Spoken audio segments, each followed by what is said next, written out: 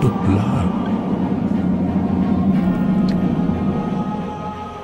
The blood of the dark soul. Let's fucking go!